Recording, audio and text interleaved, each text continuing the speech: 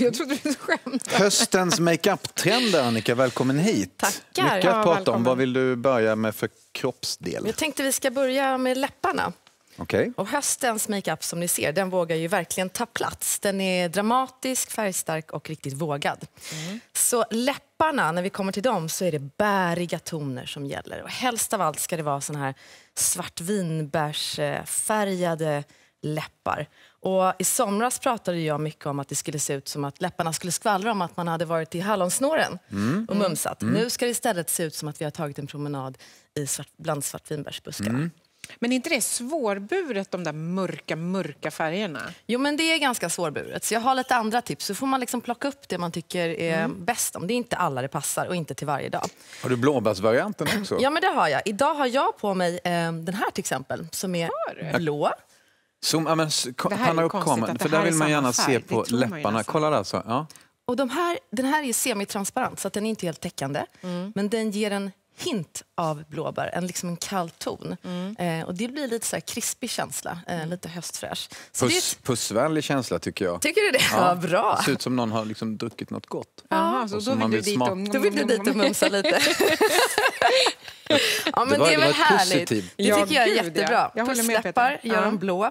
Ehm, och sen har vi också jättemycket signalröda läppar. Mm. Och både det och de här mörka är ju ganska dramatiska. Mm. Men som sagt, för de som vill vara lite, inte vara lika vågade så kan man också titta på de här milda rosa tonerna som också är riktigt hett i höst. Som är lite mer vardags kanske. Eller det här semitransparenta blåa då. Men finns det något så här, man brukar säga ibland att det finns kläder som passar olika kroppar. Mm. Finns det så här färger som passar olika läppar eller olika färger eller så?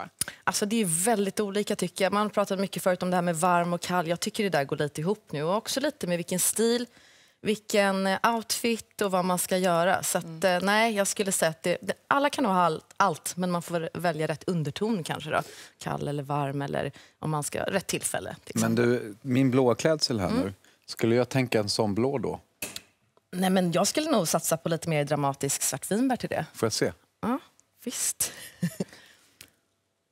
För eh, Peter har ju ganska, alltså han har ju ganska smala Säg det rakt ut nu istället, läppar. ja. Och då tänker jag att de där mörka färgerna kanske funkar väldigt bra just i smala läppar. Jag har ju så tjocka öppna läppar så då ser ut som att hela mitt ansikte bara är en enda stor läpp. Men vad gör du med överläppen? vad roligt! Alltså man ska ju ha läpparna du till såna här. av i Och så läppen, lite.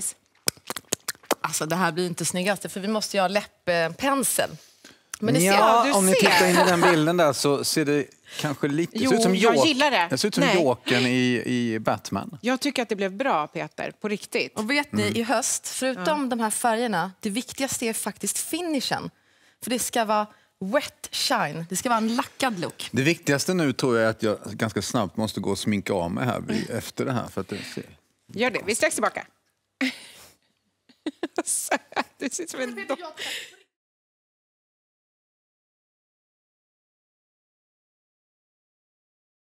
Och kolla tänderna, vad vita de blev. Men Ja, kolla först- ögonen också. Ja, De poppade. glittriga. Och till det här. Ögonen poppar som Ja. fasiken alltså.